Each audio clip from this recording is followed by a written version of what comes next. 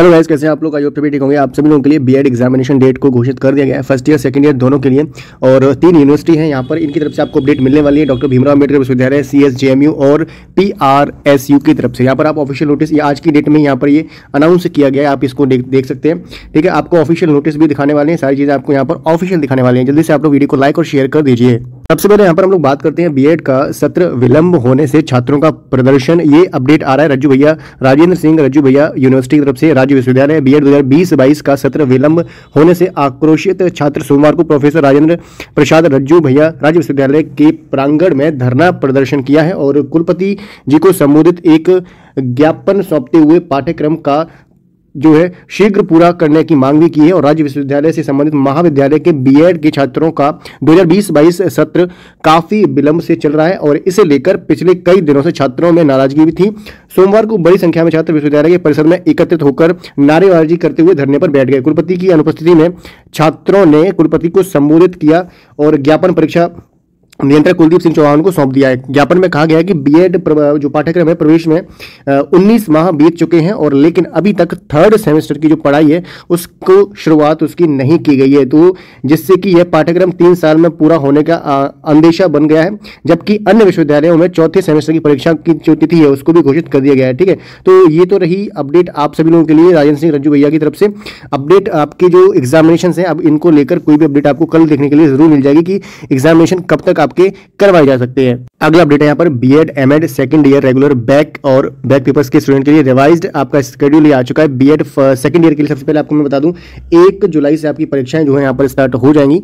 ये जो अपडेट है सी एस कानपुर की तरफ़ से आप लोगों के लिए अपडेट आ रहा है। यहाँ पर आप देख सकते हैं और सेमेस्टर बीएड और एमएड द्वितीय वर्ष की परीक्षाएँ क्रमशः पच्चीस छः दो हज़ार बाईस तथा चार सात दो हज़ार बाईस से प्रस्तावित थी उक्त परीक्षाओं की तिथि को विस्तृत करते हुए बी एड एम एड द्वितीय वर्ष की परीक्षाएँ एक से एक जुलाई से स्टार्ट हो रही हैं और L L B B L L B की विषम यानी कि और सेमेस्टर की परीक्षाएँ चौदह सात दो हज़ार बाईस से, संलग्न संशोधित परीक्षा कार्यक्रम न आप लोगों को यहाँ पर बताया जा रहा है, ठीक है? Year datesheet M Ed second year की, जिसके की एक तारीख से स्टार्ट हो रहे हैं एग्जामिनेशन और ये बी फ़र्स्ट ईयर के लिए आप लोगों के लिए यहाँ पर आठ तारीख से स्टार्ट हो रहे हैं, उसको यहाँ पर कार्यक्रम आपको घोषित कर दिया गया यहाँ पर टाइमिंग आप देख सकते हैं, आठ, साढ़े आठ बजे से लेकर दस बजे तक आपका परीक्षा जो चलने वाली है, ठीक है? और इस शेड्यूल को आप डाउनलोड कर सकते हैं, हमारे टेलीग्राम चैनल से, उसका लिंक आपको नीचे दे दिया गया है।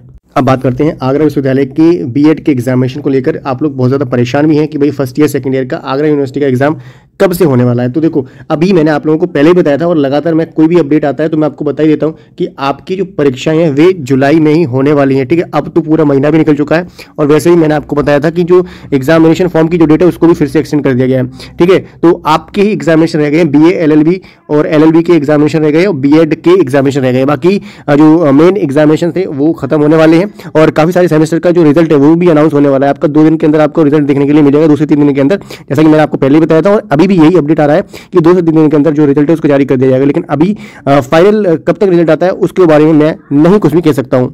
आगरा यूनिवर्सिटी के बीएड के first year second year ex और जितने भी एग्जामिनेशन हैं, वो सारे ही जुलाई माह में आपको मिल जाएँगे देखने के लिए।